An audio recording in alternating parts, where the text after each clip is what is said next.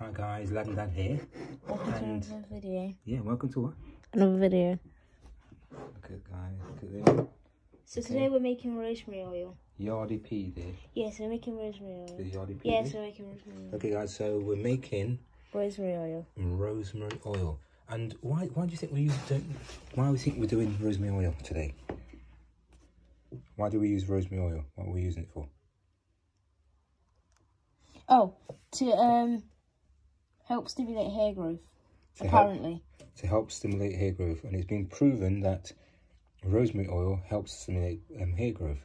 So what we do is, not yet, me. So what we've got here, we've had to dry off some rosemary, and I've gone.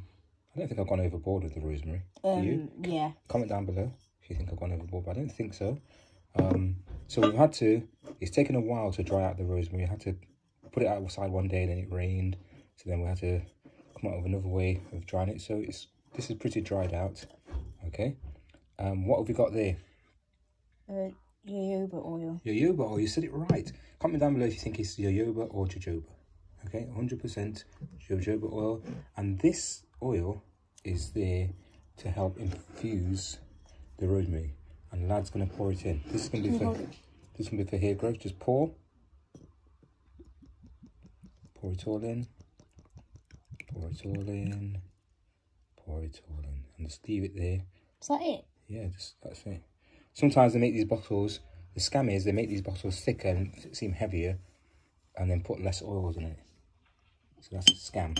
So anybody who is not doesn't realise these scams that are going off, Should we add some of that? they make these bottles heavier. Should we add some of that?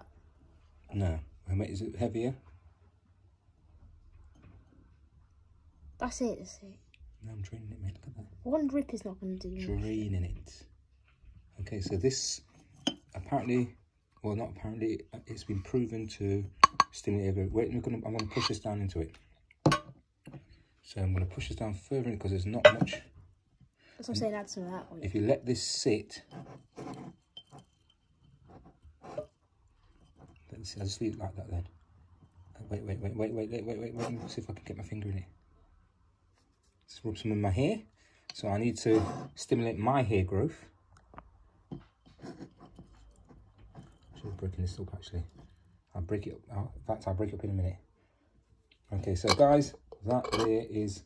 That was um, how we made the pies. And here we go. This is rosemary oil. You're supposed to put it with coconut oil as well. We've got this oil as well. This is another rosemary oil, but we bought store Should we add some to it? And it's got castor oil in it. Should add a little bit to it? So what we'll do is, again, another thick bottle. You shouldn't add it all in. No, this one's a bit thicker. That's it. Grab it off my finger, and there you go. Close it. Let it infuse, and give it a shake if you can. No shake. That's it. Just give it a shake. Okay, and then put it in there. And we'll leave that, and that's supposed to leave for a few weeks. All right, guys. See you soon.